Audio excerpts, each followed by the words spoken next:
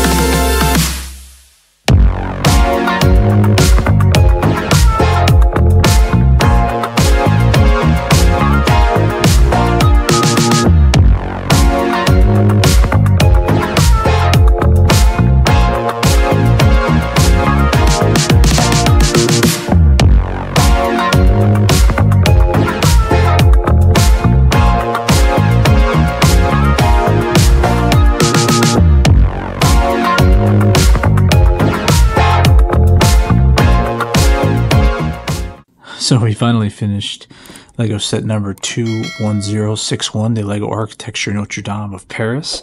Uh, this set comes with 4,383 pieces and retails in the US for $229. Uh, this is a really great set. I think it's another awesome set to the Lego architecture line, and I think that it really pays tribute to the cathedral itself, which um, fire that uh, unfortunately uh, caused much of this cathedral to burn down in 2019. Uh, there's a really lot of detail here, and I love that. You know, this is an architecture set that has put in uh, well over 4,000 pieces, and certainly at the price point of $229, this is an excellent up. So if you're a fan of Lego architecture, I'm really, I highly recommend picking this one up. So just coming around quickly to the front here, there's a little uh, Notre Dame de Paris label here. Uh, this is the front of the the front of the uh, cathedral here. You see there's two, three little doors, and it moves up here some of the detail around the windows, and then the central uh, plaque here, and then there's these little tiny uh, these are actually very individual sort of, I'm not sure what you call these, but then there's a lot of detail up here at the top of the cathedral uh, with the, uh, there's a little couple slope pieces, a bunch of slope pieces that, that fit into these and they kind of circle all the way around the sides in here as well. This set took me quite a while to build, although I was away for uh, the last uh, few days in the last couple weeks, but um, there's a lot of small little detailed pieces and I think it's a really great set. Uh, it might take you a little while to, to kind of get through it. Uh, again, some more, a lot of detail here. There's, um, you know, the, the detail around the side with the windows and, you know, the, the, going around the back here, there's also a lot of detail again going all the way around with the windows and then the, uh, the, the back here with the pointed tips around the edges. There's also some foliage on the uh, the side here, two big trees and then a couple small ones and then some bushes here.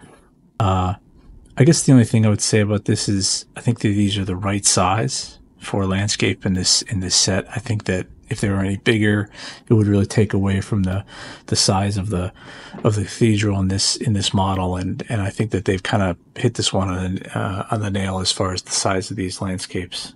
Uh, there's also two really detailed doors coming around here to the front uh, I think again, this whole set is really, really well done. So the top of the cathedral does actually come off. You can pull off the top, and you can see uh, inside the the cathedral here. It's kind of hard to see, but you can see there's the inside the floor, um, the marble floor with the, the black and white tiles. That was really uh, really fun to build in there as well. And then coming around to the, the top with the tower here, uh, these little uh, statue pieces make it really make a good uh, lot of detail here. And then again at the top. One of the things that I really enjoyed actually about building this is is they designed it in such a way that you actually build it in stages. There are three stages to this build. Um, you know, the original set, the original um, cathedral as, as it was when it first came together in the uh, 1100s, and then you kind of expand on that, and that takes you through different phases of the build, and, and it, it's interesting to kind of go through time like that. So just quickly going through the instructional manual here, there's a really good picture on the front of the cathedral itself, and there is a little page here at the very beginning of the cathedral talks a little bit about the cathedral here. And then this is the very first iteration they talk about. So the very first part of the build is from 1163 to 1182. And they talk about the east side of the cathedral that was completed in that time frame.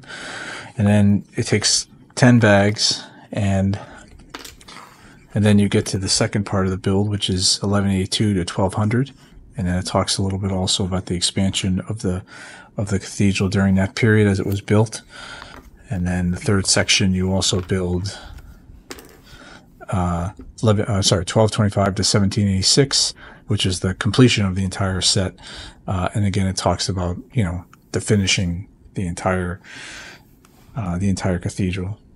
Uh, throughout the instructions, there are uh, also a lot of kind of little as we see with other builds uh, in the upper right hand corner, there are little sort of references to parts of the build and, and how they relate to the build itself in the in the real cathedral. Uh, there are 34 bags to this build, Uh, so again, like I said, it will take some time, but there's a lot of small pieces and it's very detailed. Uh, and I really enjoyed putting it together. Again, there's here's sorry, the last page of the book here that talks about the fire and rebuilding the, the cathedral to you know how it originally was, which is a, a really again a really good tribute to the to the uh, to the cathedral and you know pays homage to its uh, reconstruction. Uh, there were many. I mean, with four thousand over four thousand pieces, there were quite a few pieces left over. I think uh, honestly, I may have uh, missed a piece here or there. It was such a big build, but I did kind of rush through it at the end to, to get it finished. So just to wrap up again, you know, for over 4,000 pieces, I think this is the biggest Lego architecture set that I've built for $229. It's an excellent buy. It's very detailed and I really enjoyed thoroughly building this, especially the construction with the sections and all the little detail. I think that was really made it a lot of fun. It does take a little time. I think again, 4,000 pieces, a lot of it's very small. Uh, but I would highly recommend if you're a fan of Lego architecture, um, this this set of uh, or if you've ever visited in person, certainly this this set will uh, display really well and, and goes along well with a lot of the other Lego architecture collectors uh, sets. I wish that Lego would actually make more Lego architecture sets. I know they did quite a few in the past, but I think they're coming out now on a steady, you know, one set a year release, and I I just wish that they made more. I, I really enjoy building these. So if you enjoyed this video, again, I would appreciate you clicking on like and subscribe.